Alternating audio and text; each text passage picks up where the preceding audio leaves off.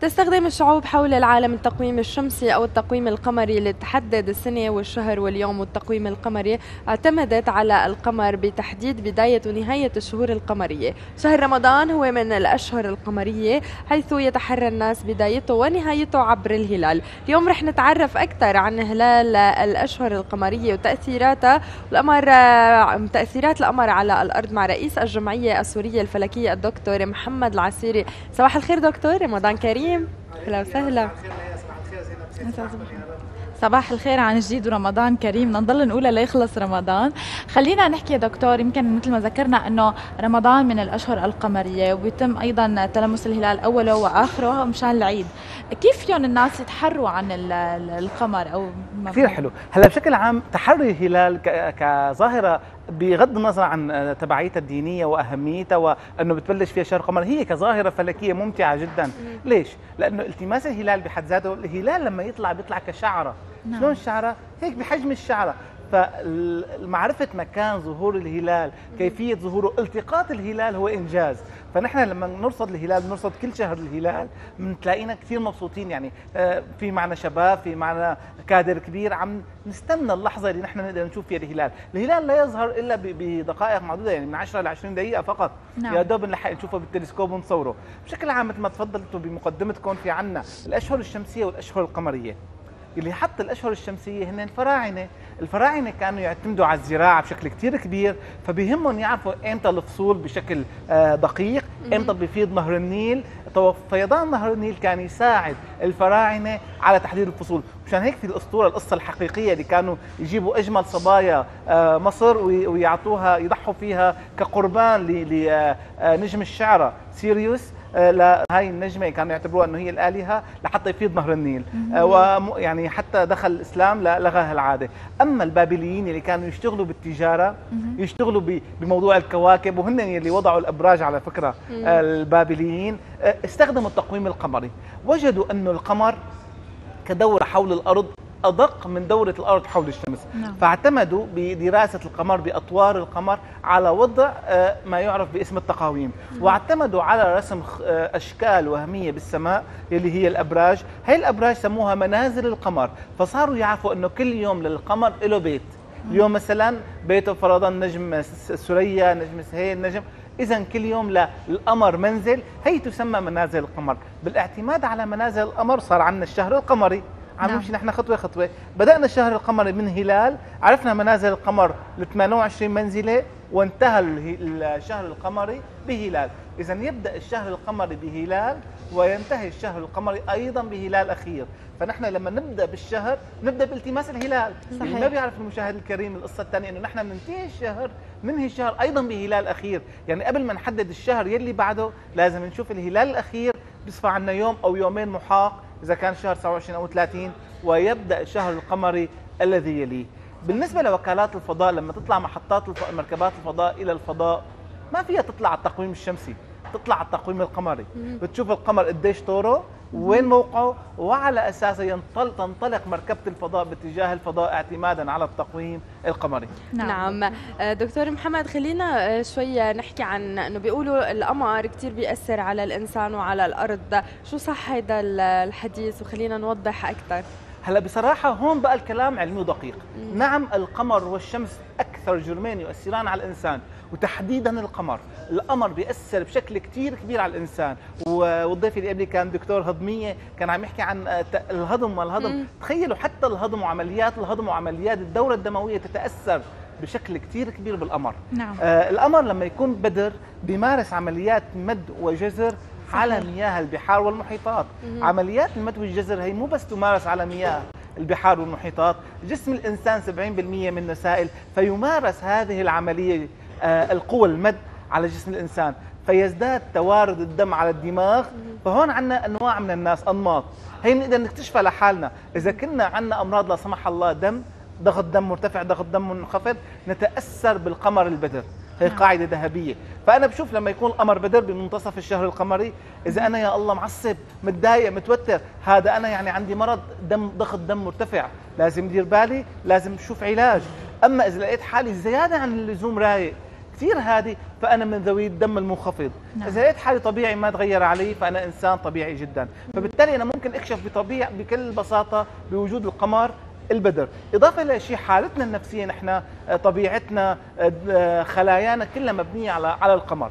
اليوم اللي بنولد فيه نحن القمري هو مرافق لطور من أطوار القمر، هذا كله بيعطي تصور لبنيتنا الجسدية لخلايانا الدموية، لآلية تشكل الخلايا، حتى الدورة الدموية وكيف بتتحرك بشكل عام، كل حالتنا النفسية ترتبط بشكل أو بآخر بالقمر وخاصة القمر بدر. ومشان هيك بنلاقي الشعراء دائما مبدعين بالقمر بدر. نعم. وبنلاقي عمليات الانتحار تزداد تواردها والحوادث لما يكون القمر بدر. نعم, نعم دكتور يعني مثل ما قالت ليا إنه القمر سألتك عن القمر وتأثيراته أو البدر وتأثيراته. خلينا نحكي كمان عن الطاقة السلبية والإيجابية بالأشهر القمرية حسب العلم يعني حسب الدراسات العلمية بعيدا عن الشائعات. كثير حلو. هلا القمر بشكل عام له أطوار. يبدأ القمر من هلال فتربيع أول أحدب أول بدر أحدب ثاني تربيع الثاني هلال اخير نعم. في ناس كثير بتتأثر بطول القمر وهذا بيرجع.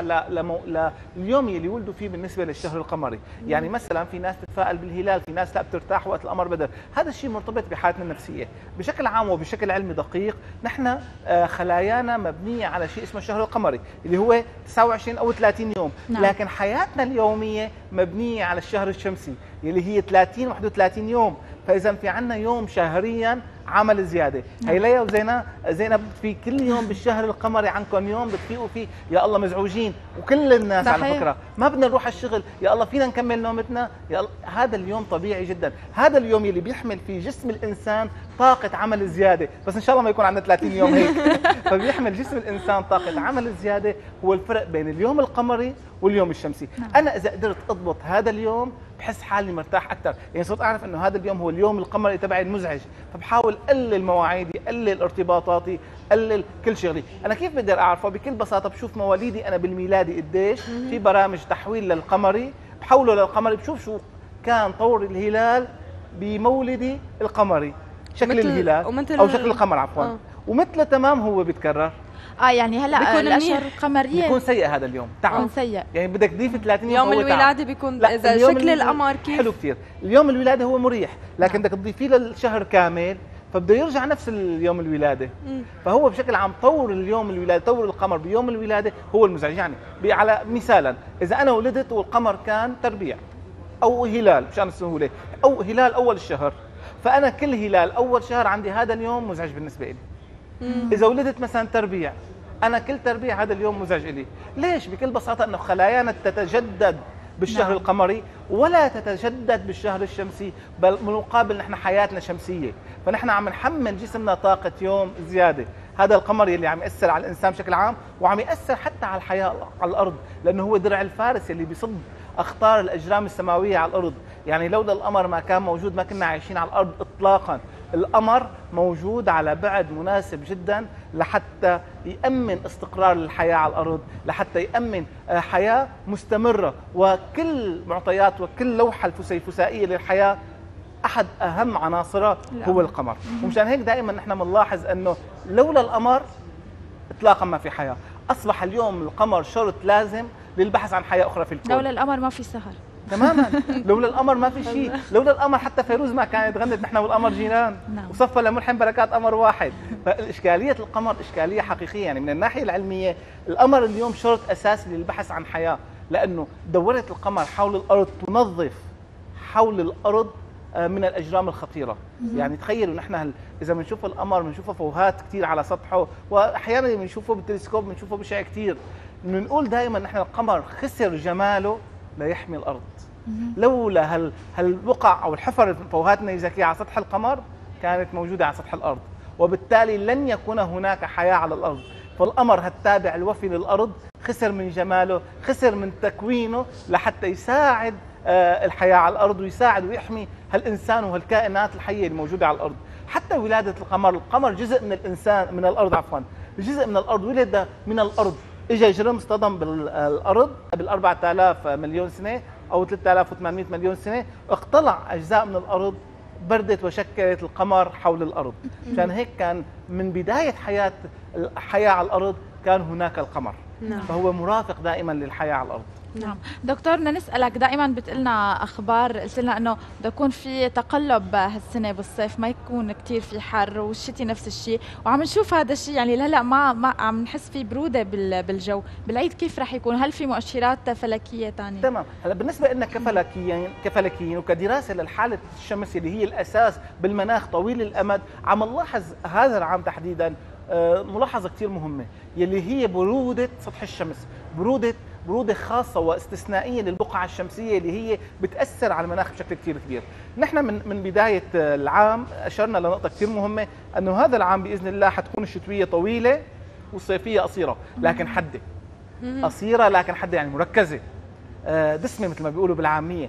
بالفعل السبب بكل وضوح ما عم نحكي نحن عن الأرصاد الجوية القريبة نحن عم نحكي على الحالات الشمسيه اللي بتأثر على مدى طويل. لاحظنا أنه ما في انفجارات على سطح الشمس. هذا يعني مباشرة أنه عندنا الشتويه متمددة وعندنا الصيفية قاسية ومتقلصة. وهذا بالفعل اللي عم نشاهده حتى اليوم. نحن دخلنا بحزيران وما زالت الحرارة بشكل عام حسب وفق الأرصاد الجوية أقل من معدلاتها. ونحن مقبلين على عيد لكن حنلاحظ أنه العيد لا بالعكس تماما حيجوا كم يوم حرارتهم بالفعل أعلى من المعدلات. لكن حنلاحظ بعد العيد راح ترجع الحرارة تنخفض. يعني حتى نحن متوقعين أنه يكون في أيام برد بآب. يعني آه. لوين التوقعات رايحة توقعاتنا رايحة أنه الحالة المناخية بتقلب كبير نعم. لسببين لعاملين رئيسيين. الأول هو حالة الشمس اللي هلأ كثير هادية مستقرة بشكل غريب وهذا الشيء آه نحن متوقعين أنه بأي لحظة يصير نشاط شمسي.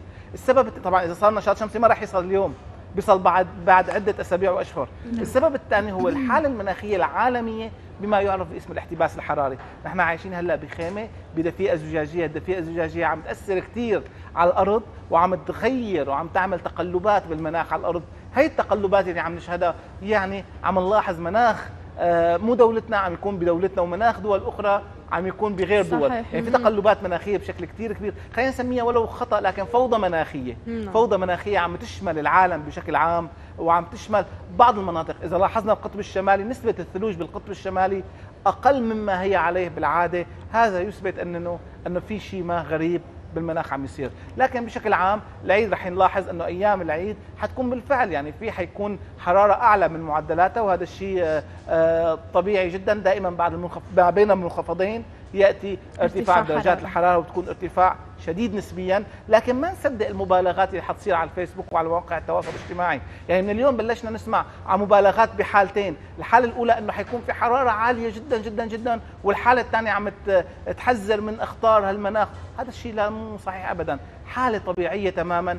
حرارة أعلى من معدلات وهذا شيء طبيعي نحن بحزيران يعني الطبيعي أنه تكون في عندنا شو صح فاذا لا نهول ولا آه نبالغ بالمواضيع لا خلينا مضبوطين عندنا جهات آه مختصة بهالشيء نرجع لهالجهات المختصة بهالشيء لأنه هي صاحبة المعلومة الأكيدة بهذا الموضوع. نعم. ومع يمكن آه، هالكلمات نحن بدنا نشكرك ونتمنى لك آه، عيد سعيد لك ولعائلتك وشكرا كثير لك دكتور محمد. وعيد سعيد لكم ليا وزينب كل عام وأنتم بألف خير ونعاد عليكم وعلى بلدنا الحبيب بالخير والأمن والأمان يا رب. آمين يا رب. نحن بنتمنى ليا دائما القمر يكون مضوي سوريا كلها ويعطينا أمل. شكرا لك دكتور محمد على كل المعلومات اللي عم تعطينا إياها.